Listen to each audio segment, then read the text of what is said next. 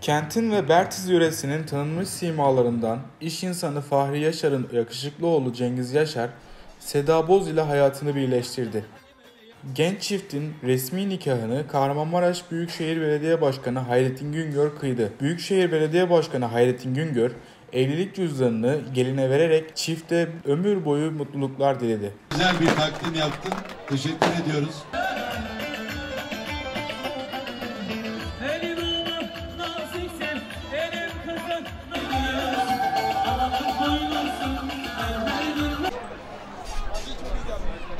Siz Seda Boz, Cengiz Yaşar'ın hiç kimsenin etkisi ve baskısı altında kalmaksızın kendi özgür iradenizle eş olarak kabul ediyor musunuz? Evet.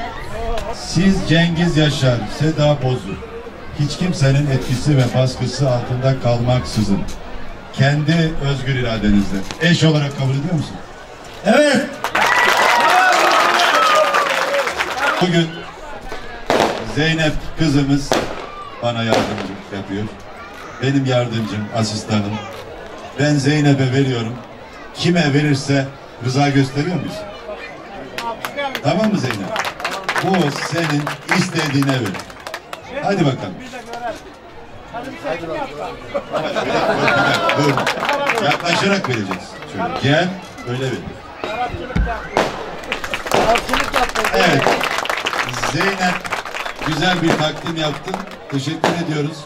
Evet, e, gelen tüm dostların da canı sağ olsun. Gelemeyebilirler, gelemeyenler de sağ olsun. Telefonla aradılar.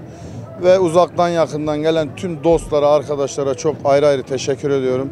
Hepsine ayaklarına sağlık diyorum. Başta Büyükşehir Belediye Başkanımızdan en küçük misafirimize kadar hepsine hoş geldiler, sefalar getirdiler diyorum. İlk çocuğumdu. Güzel bu duygu. Herkese Allah'ım nasip etsin. Herkesin çocuğunu, darısı e, çocuklarına olsun. Güzel bir mutluluk herkese. İşte teşekkür ediyoruz. Ayaklarına sağlık. Var olun.